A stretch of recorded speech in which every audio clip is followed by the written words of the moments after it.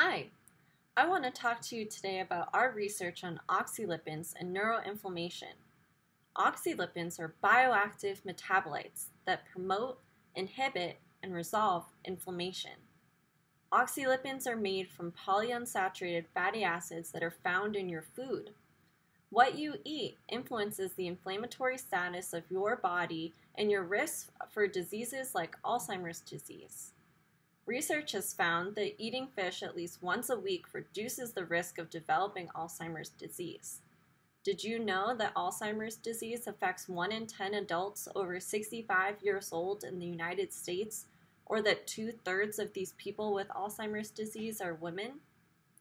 Because the window for treating Alzheimer's disease is before symptoms like memory loss occur, it's extremely important to understand early brain changes like neuroinflammation and disease progression.